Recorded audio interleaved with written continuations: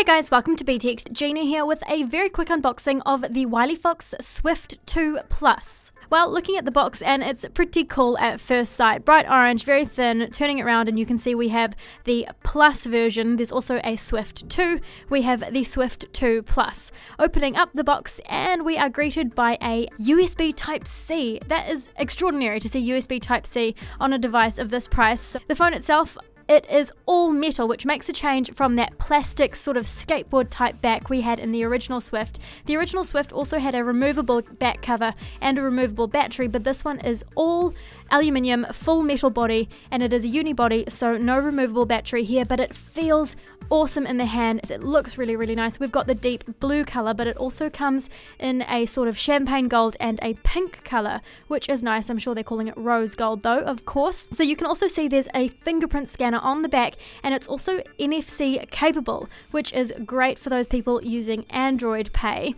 There is a 16 megapixel back camera on this Plus version. If you want to pick up just the regular Swift 2, then you'll be going for a 13 megapixel rear camera. Both do have a 8 megapixel front camera though, so we can expect some pretty good shots. Be sure to check back for the full review where we will be detailing the camera quite thoroughly. And looking at the screen, it is only a 720 HD display, which is a little bit disappointing. So 720, you might be able to pick up a pixel or two.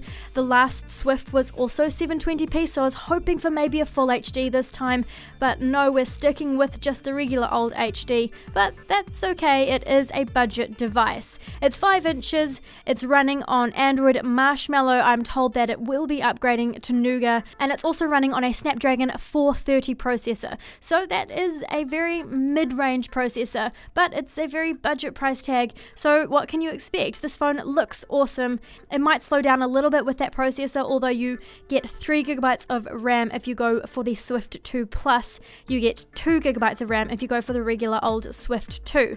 And you can see it's also able to take a micro SD card, which is great because the Swift 2 comes with 16 gigabytes of storage, where the Swift 2 Plus comes with 32 gigabytes of storage. So uh, this phone is available for pre-orders from today, 159 for the Swift 2 and 189 for the Swift 2 Plus. Be sure to check back for our full review. We also have a Swift 2 Plus Btekt branded phone to give away, so stay tuned to see how you can win that one as well. For now though, we are still giving away a Huawei Nova, so be sure to enter that competition if you haven't yet. Thanks for watching Btekt.